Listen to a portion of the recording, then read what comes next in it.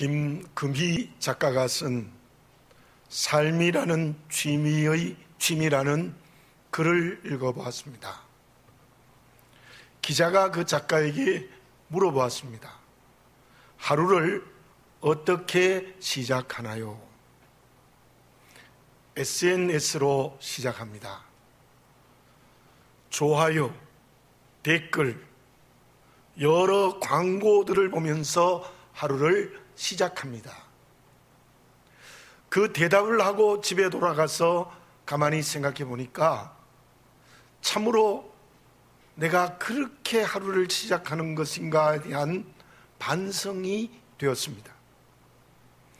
그래서 내가 새로운 취미를 가져보자, 새로운 하루를 시작해보자 라는 생각으로 화분에 식물을 기르는 취미를 가졌습니다. 그런데 이제 그것이 습관이 되어 아침에 일어나면 SNS를 여는 것이 아니라 발코니를 열고 여러 식물들을 만납니다. 관엽, 선인장, 허브, 구근까지 반갑게 만나면 그 식물들은 나에게 좋은 냄새를 선물합니다. 저마다의 냄새가 다 다릅니다. 아름다운 다른 향기를 내게 선물해 줍니다. 나는 그 식물들에게서 아침마다 자연의 향기를 냄새로 느낍니다. 저는 그 글을 읽으면서 느껴진 것이 있었습니다. 나는 어떤 냄새를 풍기며 살아갈까? 또한 어떤 냄새를 맡고 살아가는 것인가? 참으로 어려운 때를 지나가고 있습니다. 코로나19 자체도 어렵지만 그로 인한 사회 각 분야의 위기는 큰 어려움이 이미 있고 예상될 수밖에 없는 상황입니다. 그러나 우리는 지금 온 천지가 푸르른 5월이 되어졌습니다. 그리고 이 5월은 가정의 달입니다. 이때 저와 여러분들의 가정은 어떤 냄새를 풍기고 있습니까? 향기로운 냄새가 납니까? 아예 향기가 없지 않습니까? 아니면 도리어 역한 냄새가 우리 가정에 나지는 않습니까? 본문의 말씀에 나오는 가정에는 어떤 냄새가 나고 있습니까? 3절 하반절에 이러한 말씀이 있습니다. 향유 냄새가 집에 가득하더라. 향유 냄새가 삼남매의 집에 가득 아름다운 향기를 발휘했습니다.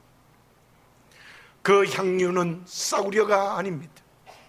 3절의 말씀에 나타난 대로 지극히 비싼 향유입니다. 순전한 향유입니다. 나드 한 근은 오늘날로 계속 계산하면 340g 정도가 되는데요. 적은 양이 아닙니다. 양도 많습니다. 오절의 가룟 유다의 말을 빌리면 300데나리오의 값은 나갈 것이다. 300데나리오는 노동자의 300일의 품삯에 해당되는 최고급 향유입니다. 여러 정황을 종합해 보면 나사로의 가정은 분명히 넉넉한 가정이 아닙니다. 가난합니다. 그렇다면 그 향유는 마리아의 전 재산일 수 있습니다. 어떤 학자들은 이렇게 설명합니다.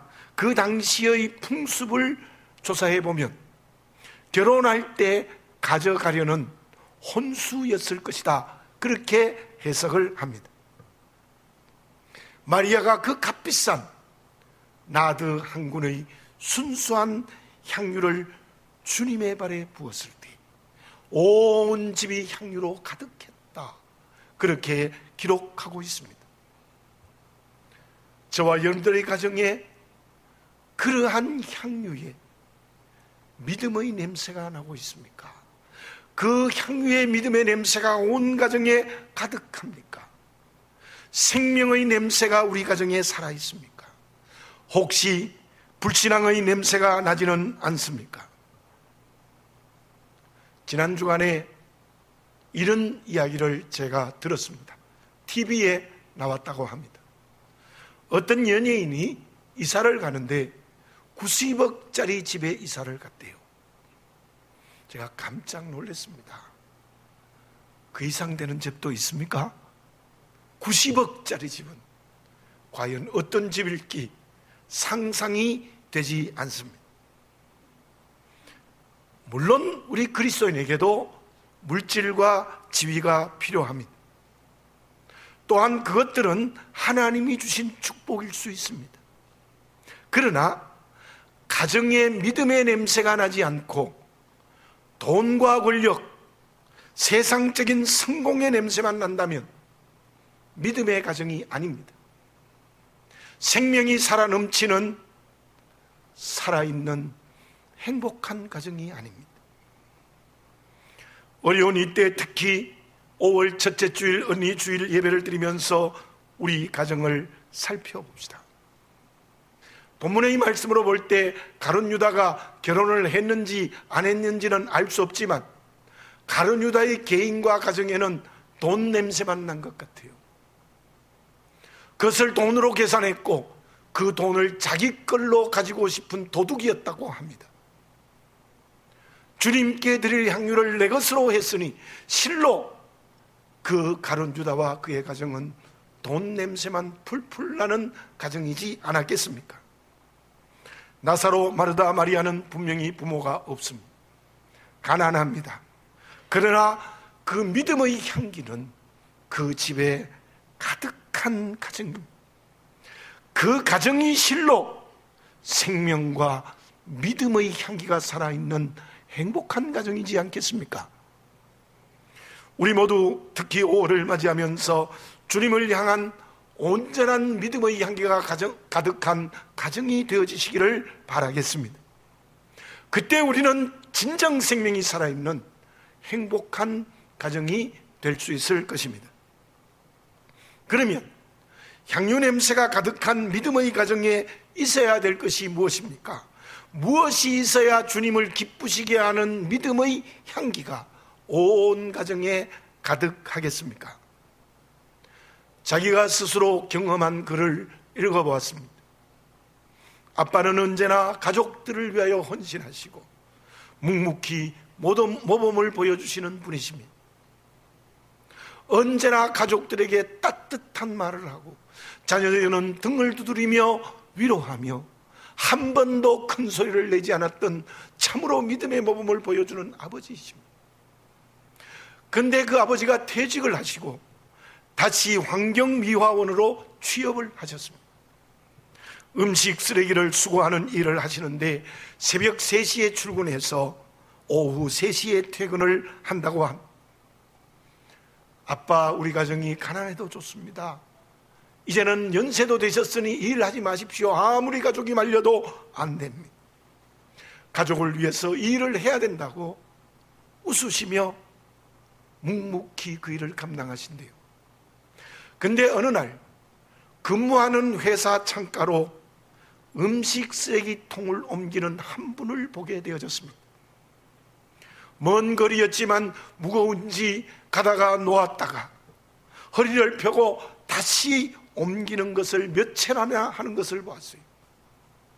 딸이 보기에는 아빠를 닮았습니다. 아빠는 아니겠지. 퇴근하고 집에 돌아와서 물어보았습니다. 아빠, 우리 회사 근처에서 일해. 딸아, 미안해. 우리 딸이 창피할까봐 내가 말을 못했어. 그때 딸의 가슴이 쿵 하고 내려앉았습니다. 눈물을 삼키며 부엌으로 갔습니다. 찬장 위쪽을 열고는 이렇게 아빠에게 말했습니다. 아빠, 저 찬장 위쪽에 유자차가 있는데 나는 키가 작아 못 내리겠어.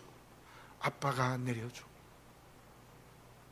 딸이 아빠에게 그 말을 한 이유는 나는 그때 아빠가 작은 사람이 아니라 가족을 위하여 가장 키가 큰 분이시라는 것을 확인하고 싶어서 그 말을 했답니다.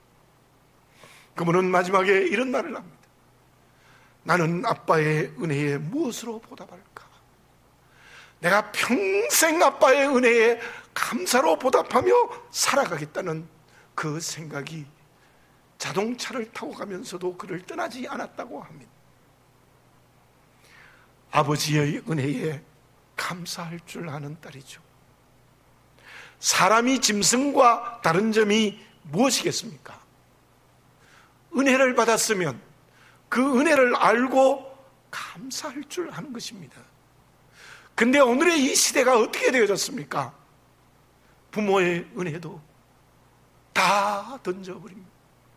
받은 은혜 다 망각해버리고 오늘 내게 조금이라도 유익이 되지 않으면 손을 들고 주먹을 드는 것이 이 세대이지 않습니까? 믿음으로 사는 저와 여러분에게는 받은 은혜에 진짜 감사를 줄 알고 그 감사가 행동이 되어져야 될 것입니다. 본문의 사건은 주님이 십자가에 죽으시기 전 엿새 전의 일입니다. 1절과 2절을 봉독해 드립니다. 6월절 엿새 전에 예수께서 베다니에 이르시니 이곳은 예수께서 죽은 자 가운데서 살리신 나사로가 있는 곳이라. 거기서 예수를 위하여 잔치할세 마르다는 일을 하고 나사로는 예수와 함께 앉은 자 중에 있더라. 오늘 본문의 말씀에 바로 앞장인 11장에 어떠한 사건이 일어납니까? 호주격인 나사로가 큰 병으로 죽었습니다 얼마나 절망적인 슬픔의 가정입니까? 근데 주님이 죽은 지 나흘이 돼서 오셔서 무덤 속에 있는 나사로를 다시 살려주셨습니다. 나사로와 그의 가족들은 그 은혜에 얼마나 감사했는지요. 죽었던 오빠, 죽었던 나사로를 살려주신 너무너무 감사했습니다. 그 은혜에 감사하여서 잔치를 주님을 위하여 베푼 것입니다. 그런데 그 3만 내면 그때만 은혜를 받은 것이 아닙니다. 복음서에 보면 예수님이 예루살렘에 세 번 오셨는데 세 번 오실 때마다 나사로의 집에 가서 묵었습니다. 그때 삼남매를 지극히 사랑하셨고 그때마다 말씀으로 은혜를 베풀어 주셨습니다. 나사로와 마르다와 마리아는 그 주님의 은혜에 감사해서 주님을 모시고 동네 사람들을 초청해서 잔치를 한 겁니다. 그곳에 마리아를 통한 향유 냄새가 그 잔치집에 가득하게 되는 역사가 일어난 거예요. 주님이 저와 여러분에게 주신 은혜가 얼마나 놀랍습니까? 저는 이렇게 생각합니다. 나사로와 마르다와 마리아가 받은 은혜보다 더 큰 은혜를 저와 여러분들이 받았습니다. 에베소서 2장 1절을 읽습니다. 그는 죄와 허물로 죽었던 너희를 살리셨도다. 허물과 죄로 죽었던 너희를 살리셨도다. 예수님이 죄와 허물로 죽었던 우리를 살리신 줄 믿습니까? 아멘입니다. 죄로 죽어버렸습니다. 끝났습니다. 그러한 나를 십자가의 은혜로 살렸습니다. 자녀된 우리에게 계속해서 은혜를 베풀어 주십니다. 어떤 은혜입니까? 절망하면 희망을 가지라고 말씀하십니다.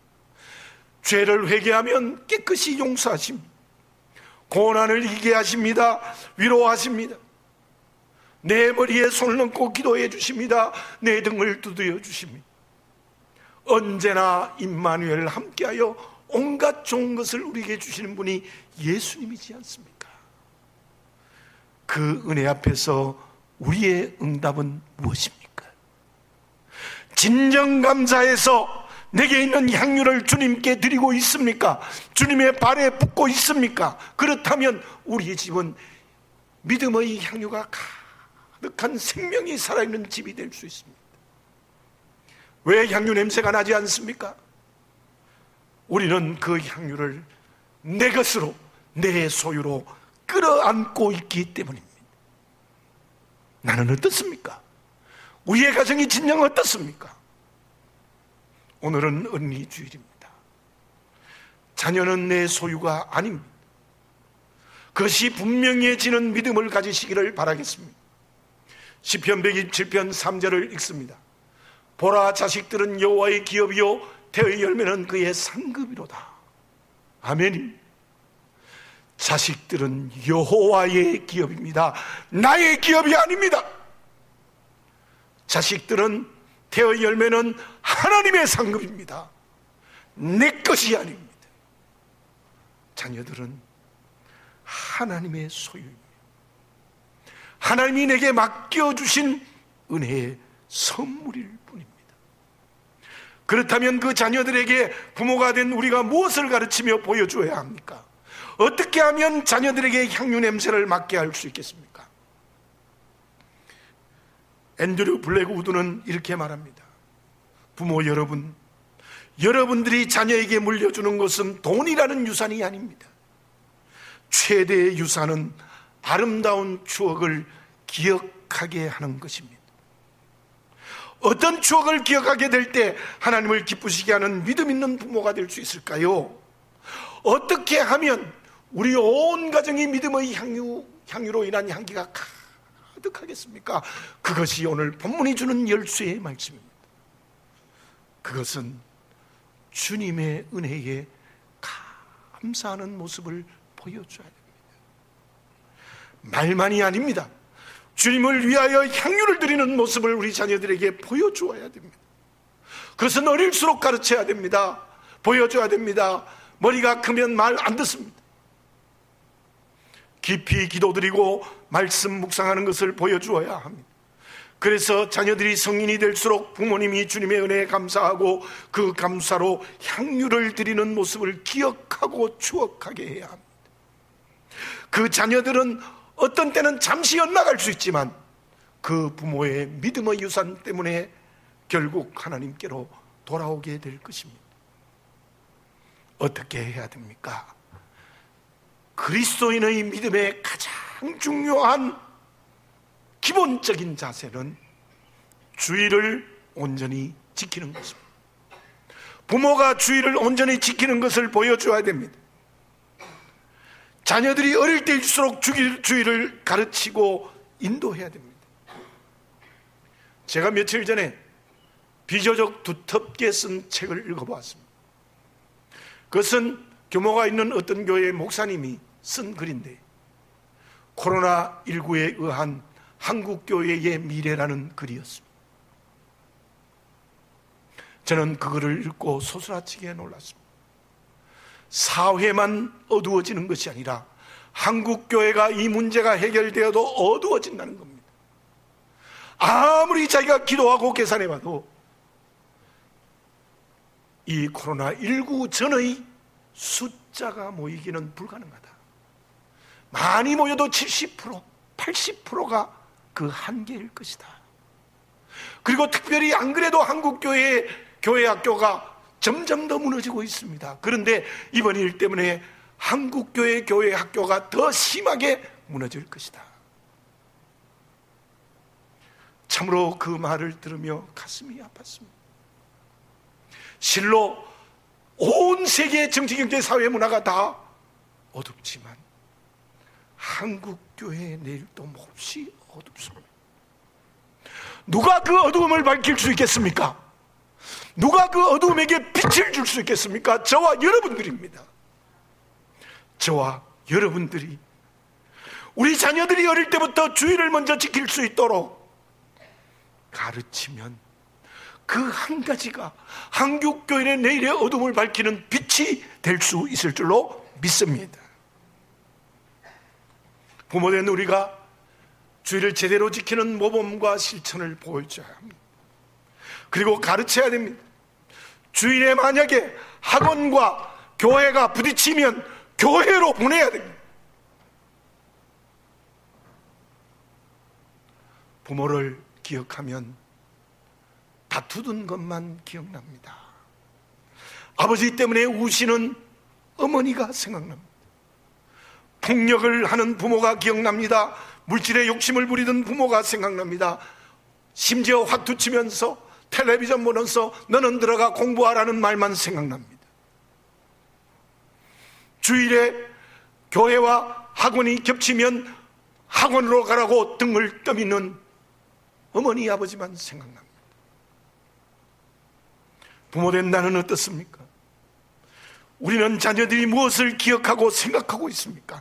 그리고 부모된 나는 지금 자녀들을 어떻게 양육하고 있습니까? 그 해답은 주님의 은혜에 진정으로 감사드리고 그 감사가 향유를 주님께 드리는 곳에 있다는 것을 기억하시기 바랍니다. 그때 하나님을 기쁘시게 하는 믿음의 향기로운 냄새가 온 가정에 넘쳐나게 될 줄로 믿습니다. 그 가정이 진정 생명이 살아있는 행복한 가정이지 않겠습니까? 바울이 디모데에게 이런 말을 했습니다. 디모데후서 1장 5절입니다. 이는 내 속에 거짓이 없는 믿음이 있음을 생각함이라. 이 믿음은 먼저 내 외조모 로이스와 내 어머니 유니게 속에 있더니 내 속에도 있는 줄을 확신하노라. 디모데가 정직한 믿음을 가졌습니다. 거짓이 없는 믿음을 가졌습니다. 바울이 강하다면 디모데가 아주 부드럽게 초대교회 지도자가 되고 목회를 잘한 지도자가 되어졌습니다. 그 이유가 무엇입니까? 너의 어머니 윤희계 속에 있던 거짓이 없는 믿음이 내 속에 있다. 너의 어머니가 그 거짓이 없는 믿음을 받은 것은 그 외할머니 로이스에게 있던 것이 내 속에 있다. 손자, 손녀를 보는 분들도 많이 있습니다. 저도 손자, 손녀를 봤습니다. 그들에게 거짓이 없는 믿음을 유산으로 남겨줄 수 있겠습니까? 그 아버지의 그 아들이다라는 말이 있습니다. 오늘 이 예배를 드리면서 부모된 우리들을 통하여 자녀들이 온전한 믿음의 그릇이 되게 합시다. 그것은 주님의 은혜에 감사하는 말과 인격과 삶이 되는 것입니다. 그때 그 감사의 응답이 향유의 좋은 냄새가 되어 온 가족들에게 가득해지는 진정 하나님이 기뻐하시는 여호와의 집이 될 수 있을 줄로 믿습니다. 그러면 주님의 은혜에 대한 감사가 온 가족들에게 향유 냄새를 가득하게 한다면 그 믿음은 어떻게 나타나야 합니까? 그 믿음의 구체적인 내용이 무엇입니까? 우리는 토마스 에디슨을 너무나 잘 알고 있습니다. 2천여 종류의 발명을 했습니다. 백열전구, 축음기, 영화 촬영기 등은 오늘 우리가 그 혜택을 누리고 있는 것입니다. 그는 이런 말을 했습니다. 성공을 위해서 가장 중요한 것은 두려움 없이 육체적, 정신적 에너지를 한 문제에 쏟아 부을 수 있는 능력이다. 육체적, 정신적 에너지를 한 분야에 쏟아 부을 수 있는 능력이다. 그리고 에디슨은 그 말을 실천했습니다. 한 가지 발명에 얼마나 열정을 가졌으면 끓는 물에 달걀을 넣어야 되는데 시계를 넣은 일이 있지 않습니까? 그만큼 한 가지 발명에 집중했다는 것입니다. 누가 주님의 은혜에 감사의 응답을 하는 믿음의 그릇이 되겠습니까? 누가 그러한 믿음의 향유의 냄새를 가정에 가득 채울 수 있겠습니까? 한마디로 말씀드리면 오직 주님께 집중하는 것입니다. 내 육체도 내 마음도 내 영도 전 인격이 예수님께 집중하는 것입니다. 본문의 말씀을 봅시다. 먼저 나사로를 봅시다. 2절에 보면 나사로는 예수와 함께 앉은 자 중에 있었습니다. 다르게 말하면 나사로는 지금 주님 앞에 앉아 있습니다. 어떤 것 앞에도 앉지 않습니다. 나사로는 죽었는데 주님이 은혜로 살려주셨습니다. 그의 마음이 어떠했겠습니까? 지금은 주님밖에 없습니다. 주님 앞에서 주님께만 집중했던 것입니다. 다른 어떤 것도 나사로에게는 없습니다. 그리고 마르다는 어떻습니까? 2절에 보면 마르다는 일을 하고 그렇게 기록이 되어져 있습니다. 마르다는 예수님을 잔치를 위해서 열심히 일했습니다. 마르다가 누구를 위해서 일했습니까? 오직 주님만 위해서 일했습니다. 마르다를 보면 어떤 사건이 생각납니까? 누가 보면 10장이 생각납니다. 예수님이 오셨어요. 내 동생 마리아는 손끝 하나 까딱하지 않고 주님 발 앞에 앉아 있습니다. 얼마나 화가 났겠어요. 저도 화났을 거예요. 예수님, 저 마리아 좀 나를 도와서 주님을 위하여 음식 만드는데 도와주도록 해 주십시오. 어, 근데요, 예수님이 전혀 딴판의 말씀을 하십니다.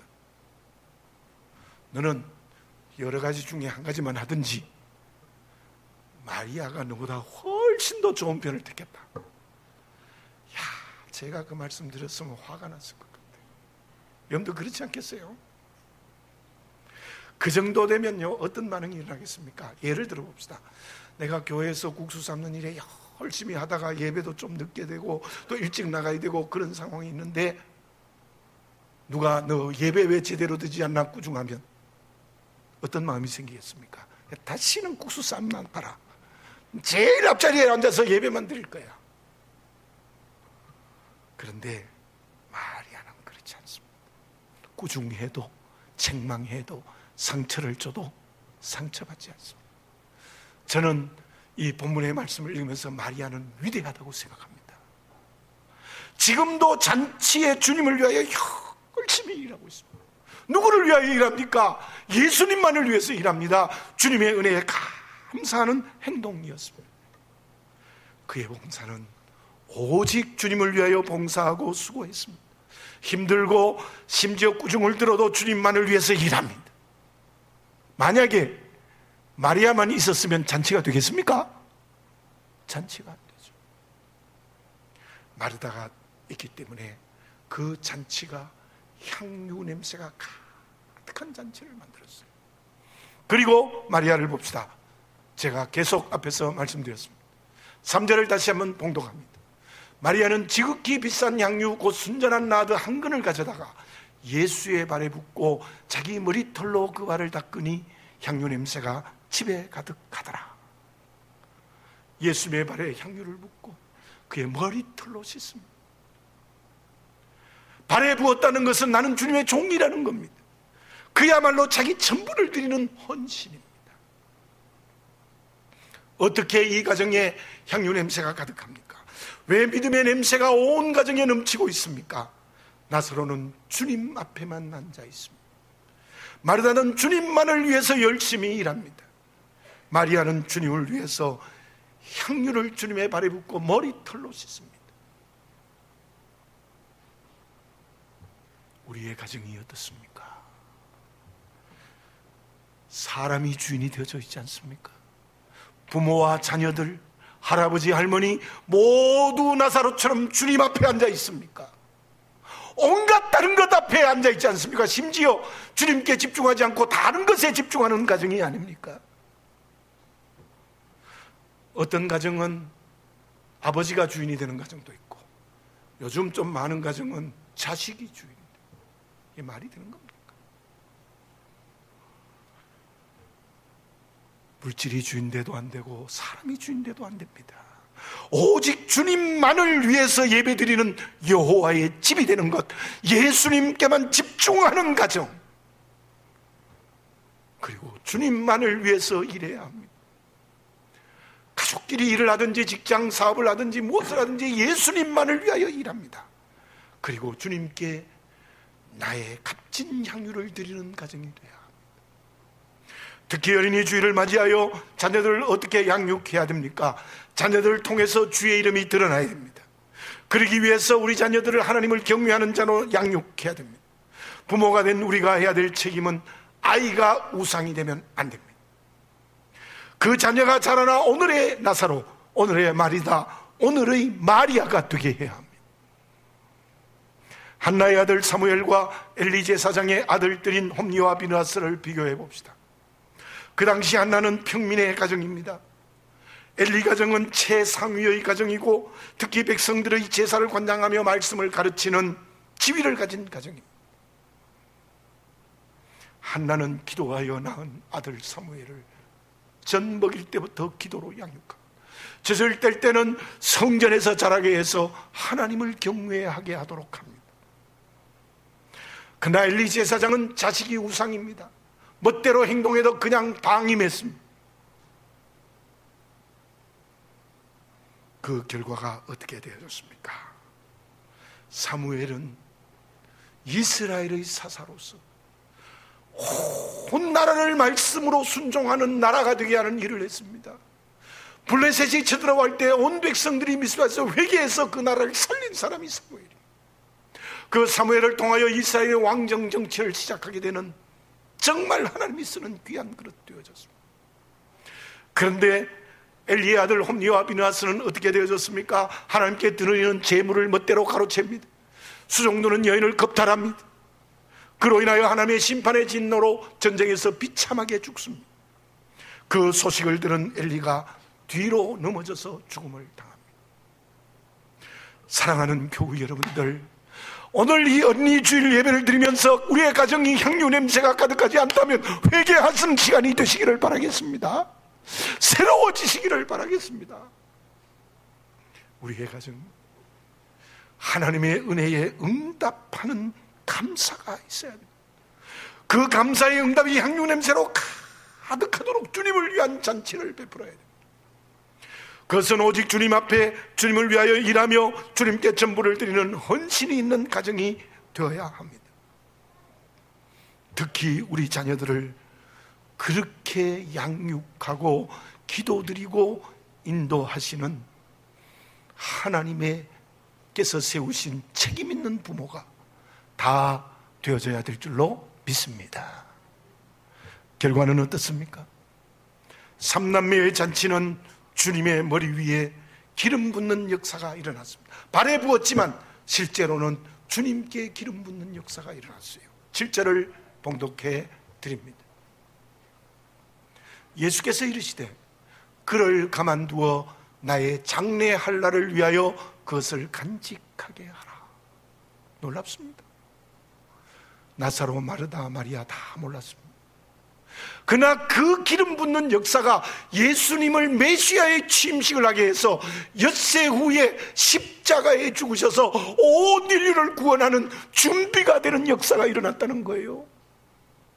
얼마나 놀라운 역사입니까? 저와 여러분들이 십자가의 은혜로 죽음에서 구원받은 것은 그때 삼남매가 예수님에게 기름을 부었기 때문입니다.